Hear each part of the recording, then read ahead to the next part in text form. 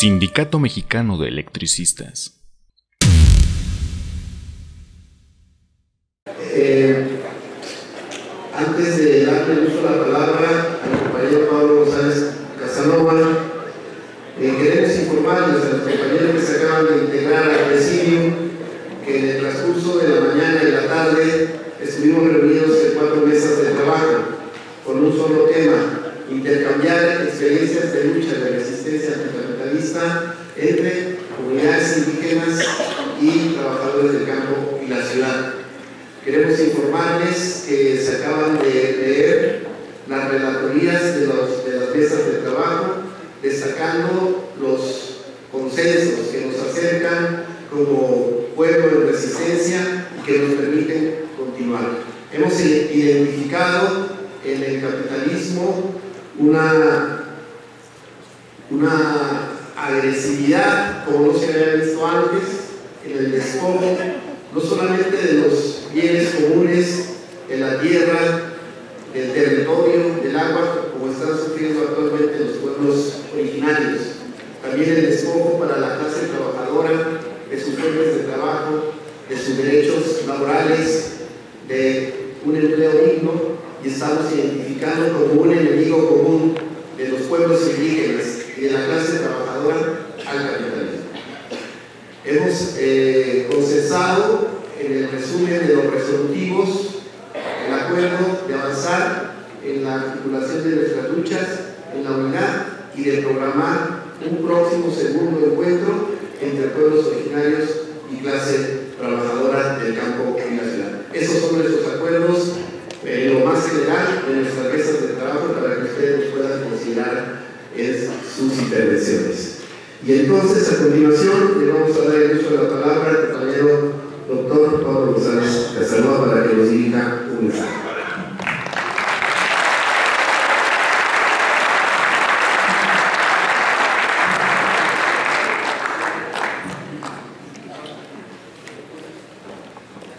compañeras, compañeros, compañera Marichuy, especialmente, me siento muy honrado de decir estas palabras a las que no vengo preparado, pero a las que me invitaron, tal vez porque el Sindicato Mexicano de Electricistas y la revista Luz fueron mi primera escuela y eh, en mi casa se reunían los compañeros de ella Mírez, Paulín y mi tío Luis Espinosa y Casanova, que fue oficial mayor 20 años de este sindicato. Y ahí aprendí algunas cosas que no se me han olvidado. Y quiero en primer lugar recordarlos y recordar que aquí me gané mi primer dinero en la revista Luz.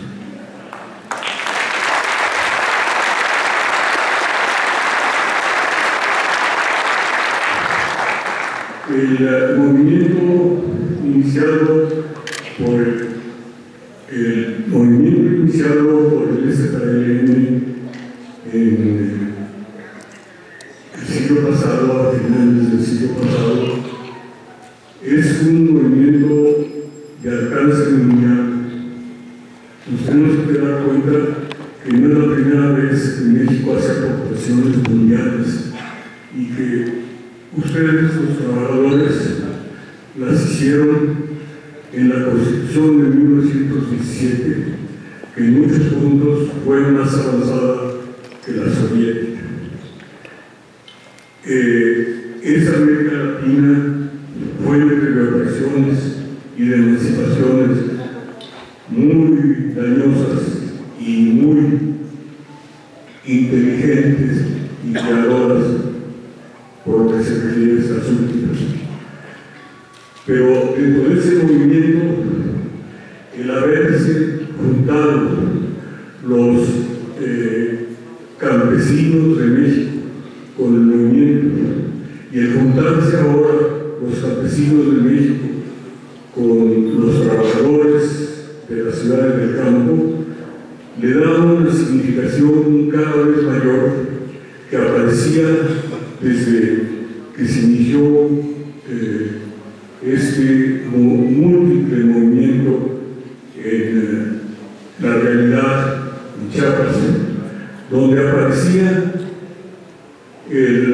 la bandera mexicana junto con la bandera rojinegra de los trabajadores y donde los pueblos indios se identificaban con los trabajadores en sus luchas y con todos los mexicanos como nación. El paso que ha dado ahora y que está dando el país creador, encabezado por la compañera Marichuz, tiene una importancia extraordinaria para mostrar cómo el pueblo mexicano, como muchos otros pueblos, pero especialmente, está pensando en hacer todo lo posible porque el orden o el sistema de dominación y acumulación que está en plena crisis moral, intelectual, económica, política, mental, sea sustituido pacíficamente por un modo de dominación y acumulación en el que las fuerzas de los pueblos y las de los trabajadores estén presentes y se hagan presentes en la toma de decisiones para la gobernatura de un país realmente demócrata, porque no habrá democracia mientras los pueblos y los trabajadores no estén presentes en ella. Y no habrá democracia en países donde se renovaron las formas coloniales de explotación y no solo las de explotación de los trabajadores y los empresarios, sino las de despojo o de exposición que se llamaban de acumulación primitiva y que hoy en el capitalismo más avanzado y decadente se están repitiendo con dos viejas experiencias, dos grandes experiencias, la de los trabajadores asalariados que luchaban contra la explotación y la de los pueblos campesinos y en especial la de los pueblos indígenas que luchaban contra el despojo, que son objeto hasta el día de hoy en sus territorios,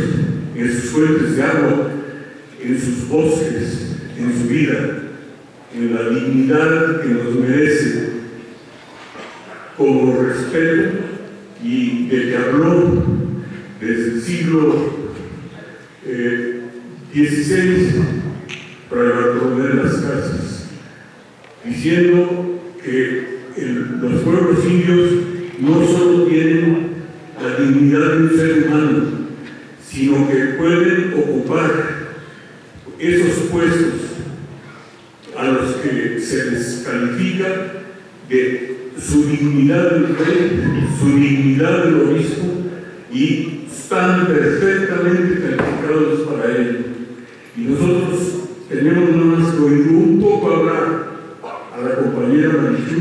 para darnos cuenta hasta qué punto nuestra candidata mexicana, indígena, trabajadora, es uno de los seres humanos con más capacidad para llevar a cabo ese proceso y las, los acuerdos que se tomaron el día de hoy, pensando en las comisiones distintas de trabajo que eran necesarias junto, eh, junto al Consejo Nacional Indígena, hacer un Consejo Nacional de Trabajadores del Campo y la Ciudad, es un acuerdo que no se debe dar en las palabras, que se debe echar a andar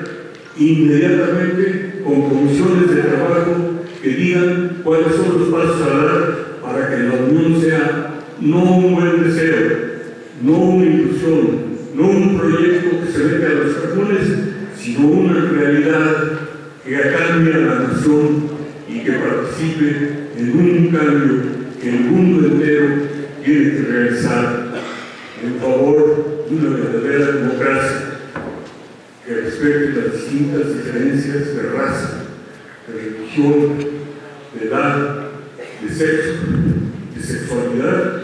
y que al mismo tiempo tenga un proyecto de, organización del poder y de la producción que sea racional, que sea hecho para los seres humanos que gobiernen el mundo y que defiendan al ser humano y la vida de la tierra, hoy amenazada y negada por aquellos mismos que la están destruyendo. No dejen cada uno de ustedes de convertirse en un activista que todos los días se diga si he cumplido o no con los deberes que tengo con mi pueblo, con mis hijos y si no es exagerado con la humanidad. Gracias.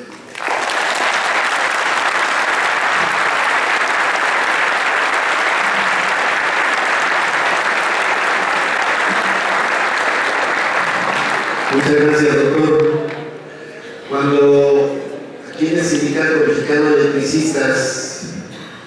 conocimos la iniciativa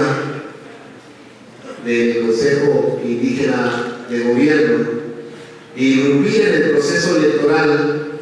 de 2018 con un planteamiento distinto a lo que hemos venido viviendo en los últimos procesos conocimos de la propuesta de los compañeros, armamos una discusión en nuestro sindicato. Y ustedes saben muy bien que nuestra organización el máximo órgano de decisión es nuestra Asamblea General. Se puso a discusión en la Asamblea General y hubo puntos de vista, hubo debate de si era conveniente, de si tenía sentido. Criticaron la la propuesta por el hecho de que no se buscaba el poder por el poder y la presidencia de la República como una forma de cambio en el país. Y en esa discusión, afortunadamente, fuimos ganando claridad de cuál era el sentido de la propuesta, de construir organización, de hacer conciencia, de articular lucha y de acercamientos y encuentros como, que, como el que hemos tenido hoy por la mañana. Y en Del Sindicato Mexicano de Electricistas acordó respaldar la campaña de la compañera Marichu. Es acuerdo de nuestra Asamblea General.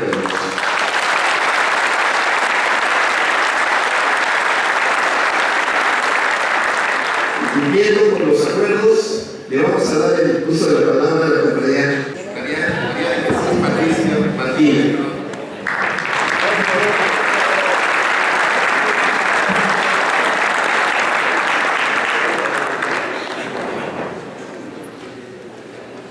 Marichuy, Marichuy, Marichuy, Marichuy,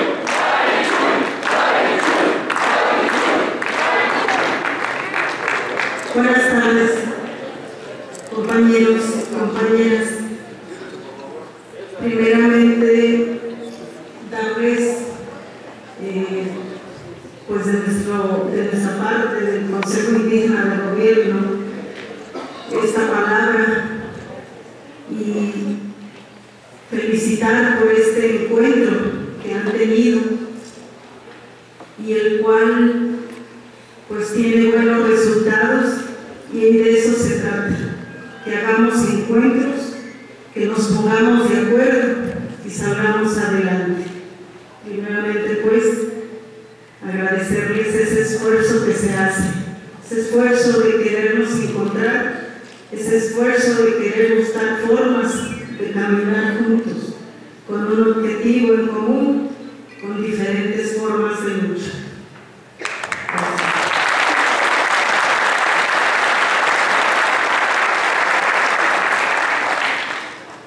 Voy a leer un documento, si me permite.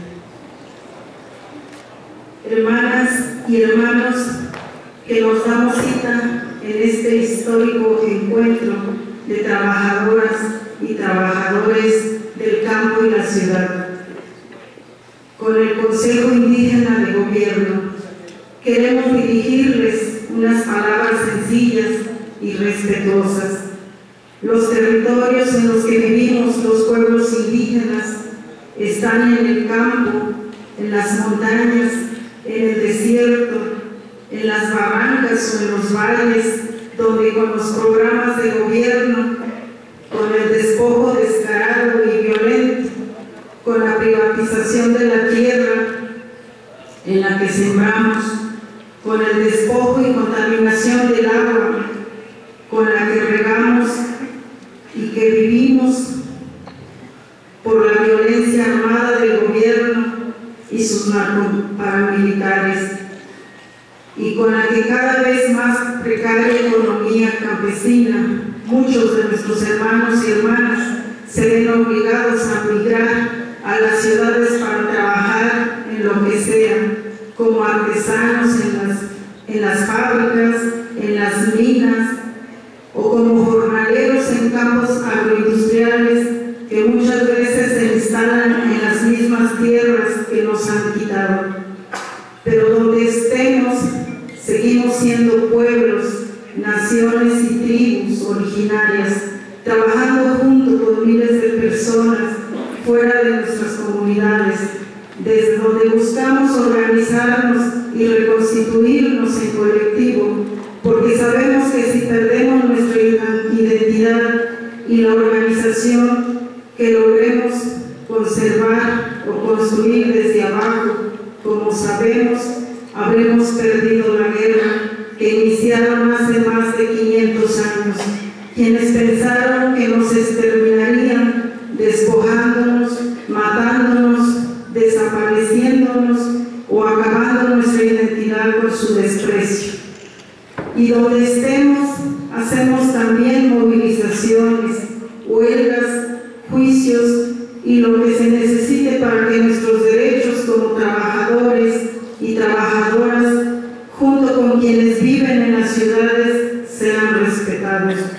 Y entonces somos maestros en resistencia.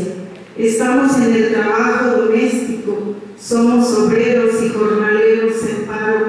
mineros exigiendo mejores condiciones laborales, trabajadores y trabajadoras sexuales exigiendo garantías y respeto, constructores y un largo etcétera.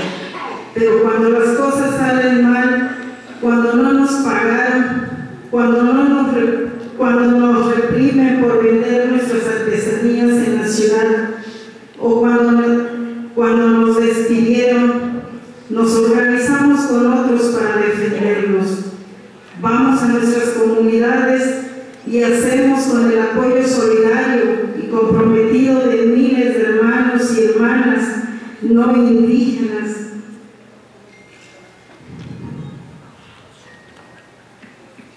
Electricidad propia. Damos clases sin que lo reconozcan y apoyen los gobiernos. Regresamos a recuperar lo que nos arrebataron los terratenientes y así sembrar nuestra propia tierra, a producir en cooperativas donde todo es para todos y una nueva economía nace, donde florecen nuestros pueblos con justicia, con memoria y con dignidad.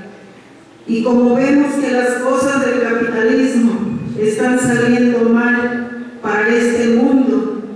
que nuestra madre tierra está muriendo por la brutal explotación y nosotros estamos muriendo con ella, gritamos que no queremos morir, que no queremos ver morir a nuestros hijos sin que hayamos luchado por ellos. No queremos que la ambición de los poderosos asesine nuestros bosques, ríos, montañas y lugares sagrados donde se guarda nuestra memoria. Por eso decimos que de la organización de las y los trabajadores del campo y la ciudad llegó la hora. Es porque somos comunidad y porque los pueblos originarios organizados en el Congreso Nacional Indígena y el Consejo Indígena de Gobierno solo tenemos para ofrecer nuestra historia, nuestros aprendizajes llenos de dolor y rabia, las formas ancestrales de gobernarnos, de respetar a la tierra, a nuestros mayores, a los compañeros y compañeras, de engrandecer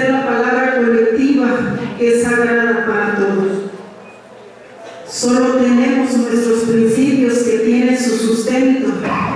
en lo que somos en muchas geografías de este país, tanto en el campo como en la ciudad. Y es lo que ofrecemos, no para gobernar a la gente de este país,